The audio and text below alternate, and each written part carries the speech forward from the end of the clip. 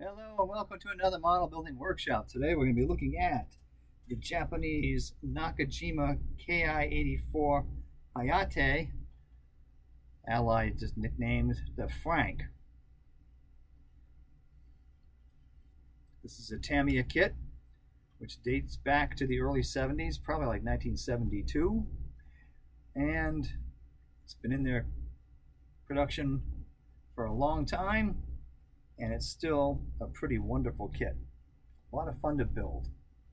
Highly recommend this one because it's fun and the price tag is still fairly low. Um, I think you can get this between 14 and 17 at your local hobby shop.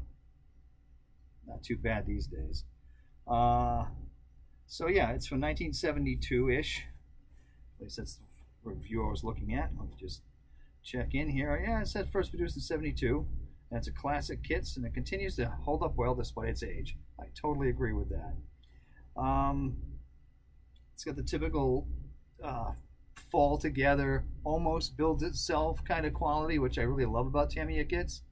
Uh, I think if you left the glue on the counter with this with the parts, you probably wake up and it might just build itself overnight. So let's talk. Well, I got this article up about the um, the decal options. I, I went for this because I just thought this was a cool looking version. And I'll show you some more from a book just, just a second. So you, you had a couple of options here, and uh, this one, number 24, was from a temporary interception corps. And I guess Staff Sergeant Joten Naito was the uh, pilot of this, flying out of uh, Nakatsu Airfield in March 1945. So that's what that one is. Uh, you had a second option from South Manchuria, 1945, in natural aluminum, which a lot of these planes tended to be that. Um, there is one for the Shimbu Unit Special Attack Corps with a tail number of 4. That's out, the, out of the Miyazaki Prefecture in Okinawa. It's a dark green and light gray blue color. If I'm not mistaken, that had like a skull and crossbones insignia on it. And when they're saying a special attack corps, that really means a kamikaze aircraft. That tends to mean what be what that is. Um, and I could not, even though the skull and crossbones emblem was cool, I just could not build that kamikaze aircraft is a little grim for me.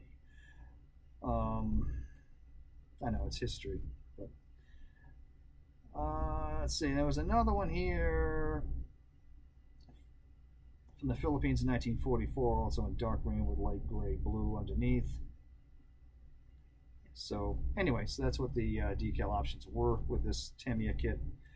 Uh, I no longer have any of the uh, information for this kit. I didn't build it that long ago, but I didn't keep all of the paperwork with it.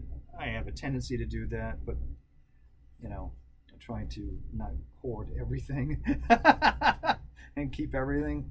But you know, as you can tell, when I'm working, I tend to I tend to get into a kit, and I tend to have stuff in my paint and everything. Anyhow, that's how I work. I just dive right in and whoo. Um, kind of the same way cooking. I got pots all over the place doing all kinds of stuff. So I'm kind of a nightmare in that regard. Sorry, folks. Um, so anyway, let's have a look at this. So you're going to see the uh, nice white and red Japanese flag emblems here. So that would indicate that this plane was doing home defense duties in the Japanese home islands. So the reason for the red and white, you know, the flag emblems was so that anti-aircraft gunners with their binoculars and telescopes and whatnot would see the white and the red from the ground and know friendly plane don't hit it kind of thing. That was the concept behind this as opposed to just you know the red sun. So that the hope was that this would be spotted easier by friendly crews and not targeted tend to enjoy this personal emblem he's got here of the jackrabbit running or hare, whatever that is. Don't always know the difference between rabbits and hares. But for those of you out there that know, feel free to put a comment down. I think it's the size of them, but anyhow. So, again, a lot of fun. There's a pilot in there, if you can see him. I don't know. And kid friendly. These are just a joy to put together.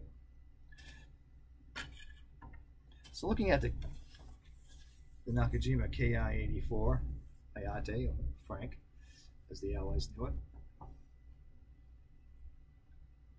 This is a late war aircraft. It intended to have two 20 millimeter cannon in the wings and two 12.7 Type 103 machine guns in the fuselage, so this is pretty well armed.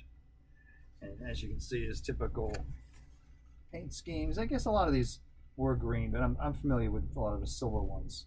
When I was a kid, I built the silver one shown here, the aluminum one. I did that one from, uh, I think it was a Hasegawa kit in 172nd. Oh, and here we go. Yeah, that's the one I'm talking about there on this page here that's got the skull and crossbones from the special attack unit. So you can see it there.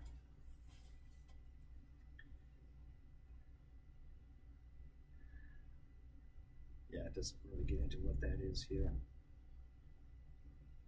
So this first flew in May of 1943. Production started and yeah, they began to deliver in 1944 a few other examples here as well.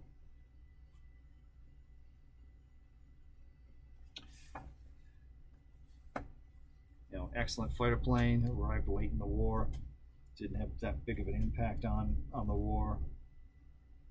But as for a model, it's a beauty. It's fun to build. So keep on building. Have fun. We'll see you guys soon on an upcoming model building workshop.